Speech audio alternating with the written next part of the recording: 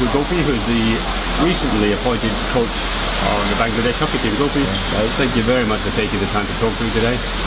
Um, I just wanted to get your philosophy on the game of hockey. Uh, you're an up-and-coming coach. Uh, what are the winning factors in creating? Uh, sorry, what are the factors in creating a winning hockey team? I think uh, I don't know, mostly discipline. The basic must be very very good, and the understanding of the game is the most important thing. I'm like uh, I'm learning. I'm still young. I'm uh, on the process of learning to become better day by day. I'm learning from all the top coaches, Yeah. and I'm looking at a lot of uh, a lot of games with uh, all the top all the coaches Yeah. so who are most most uh, senior to me and I'm getting used to it. Yeah. So, uh, in, the, in the current game today, in the modern game, um, the drag flick is very important. So, short corner is critically important. Uh, how important is it to have a specialist drag flicker? I think uh, all everybody needs a specialist. It's a uh, winning and losing is depends on the flicker at the moment. so And the goalkeeper. it's yeah, it's a goalkeeper defending PC and attacking PC is the most important thing at the moment. I think um, most crucial. Actually, like example in the World Cup, the Australia Ah. scored. Chris Ciriello, yeah. yeah. Well, that was a very unusual result. Yeah. So it's like uh, for me the most important element Yeah. as a. So, do you have a special program for developing your drag flicker? Yeah, but I was like, uh, I'm I'm with Bangladesh team for 45 days with them. uh, out of the 45 days, Yeah. 40 days I was like training with them, PC attack. Yeah, Looks good. like, every day, practically. Yeah. So it's uh, for me it's like uh, very very important. Yeah. And at the same time, uh, we need to get shot corners also. yeah. Okay. Yes, yes. Yeah. Okay. So, you had um, a selection process. I, I know you can't really say much with Bangladesh because you just handed the team. But normally speaking, uh, you you have your team, your squad, and you're down to the very last. You've got one position left, but two players. How do you fill the last position from those two players? How, what do you look for for that very last position?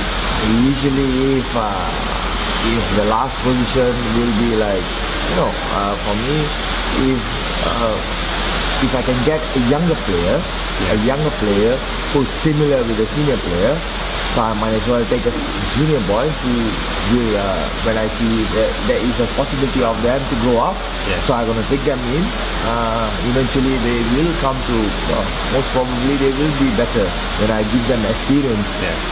In the in the next level. Well, so far, looking at your team playing, they seem to be very motivated. How do you motivate your players? uh, I make uh, like uh, example in the in the training, it's uh, always uh, game tempo is very hard, Yeah. and I make every day a competition, a small game competition. Uh, I make like a uh, like a like a game. It's like a fighting game. It's like uh, every time three against three is a fighting game. If you lose, there's a punishment, and uh, uh, so uh, in that part, uh, or if you win, there is a is a gift for you. Because certain weeks we have like uh, every every day we have a small game. Yeah. So every game, whoever that wins, they have uh, they have a photo session, photo session. And at the end of the week, there is a a winner and loser and they, they'll get some gift. So I make like uh, Okay. it's make it uh, interesting for them. So Yeah. I think uh, Yeah. that's a we good idea. Yeah. So you've got uh, you've got your player, you've motivated him, you gave him his gift. yeah. Sometimes if things are not going well, how do you criticize your player? So it's human being. They're gonna do mistake eventually, but uh, every day you keep on doing this, they're gonna improve. Uh, for me, so yeah, uh, yeah. Sometimes it doesn't go your way, way but it's life. it's life. Like, like I believe that uh, a, uh, sometimes uh, you can't expect too much, and you can't expect too low also. So moderate way, then uh, we will uh, eventually will go my way. I think. yeah. Okay. The the players these days are not just a defender or a forward. They can play forward, back. They, how do you develop the all-round player? So it's like uh, it's game all from uh, because uh, now everybody play total hockey. Yeah. so I, I when I went to went to Bangladesh, I told them that there is no defenders, there's no midfield, there's no strikers uh, or forwards. Uh, it's like everybody have to play all positions.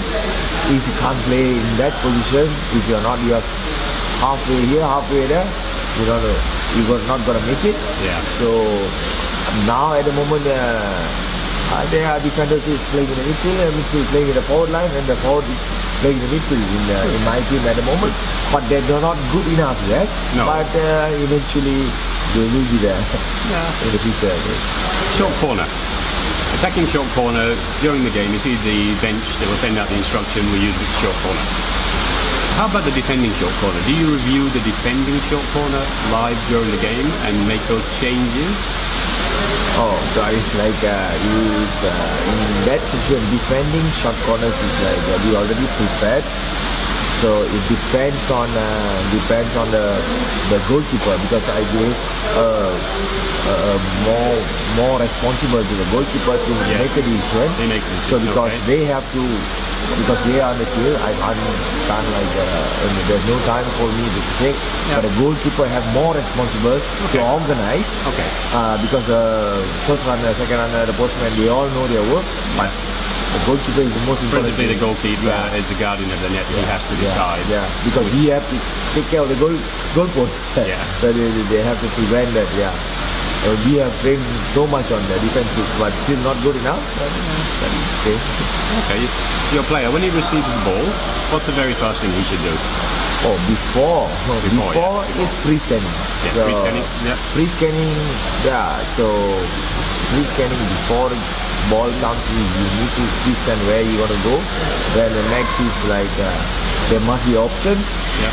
Uh, always think, uh, always teach them whenever you get the ball, there must be people to give option at the back, at the side, and the forward line. Okay. So there, there must be at least three options for them Yeah. to like uh, to, to, to, to, to Outlet. make yeah outlet. So that's only way. Okay, your player now, he's scanned, he's got the ball, he's doing something with it, he's attacking, he's in the last 25 yard area. Do you have a, a rule that you give to your player about whether they take on the defender or whether they pass the ball back? Yeah, exactly. So uh, usually, if, if, if it's a one against one, Yeah. it's a Bangladesh team, one against one, they will go. They go, yeah. You should go. You should use your skill. I don't want to kill any skills, Yes. but there is a one against one. You should go. Okay. I don't know. You should, if you're possible, if you think you're good enough to, because one against one is 50 50. Yeah? Yeah. But there is another guy coming, then two against one. So it's like a more, more possibility for you to get to win. Yeah. But there is one against one. It's uh, either you go, a good chance to score, or Or you make can do something Yeah, yeah. you can do something. So I think, uh, yeah, Okay, last question, because I know you have to get to your team meeting. yeah. Um, you've been around hockey for a long time. We see a lot of changes in this game, in ne- nearly every year. Even in the last 12 months, we have the, now the 15-minute quarters coming in at the higher levels. If you could change one rule, what rule would you change and why? I think uh, I think uh, the reason uh, I think the reason why they say the referee inside the do- dotted line. I think that's more dangerous for the defenders to get hurt. So I think uh, they should uh, take away that uh, yeah, the, the corners, the corners that we have at the Yeah. moment. They put the ball on the 20, 23 meters. That is okay. Yeah. But the, any infringement inside inside the dotted line, Yeah. they should take it out to the dotted line again. It's more more proper and more uh, less dangerous. Less dangerous, Yeah. I think it's like that is good. Something reduce the danger for the players, yeah. Yeah. Gopi, well, you've been playing very well so far for your team. and let's hope it continues. I was pleasantly surprised since the last time I saw Bangladesh. There's been a good improvement. I don't know how much is due to you, but whatever you're doing, something is So working at it's, least. uh, it's not me, it's the players they want to play. Um, I just like uh, teaching them, but uh, the players want to play or don't want to play. It uh, depends on them. Uh, they have a good players. They have good players. They they just that uh, sometimes uh, they have uh, tendency to be low. That's the problem with them. So so far, so good. they- yeah. Thank you very much. I'll, I'll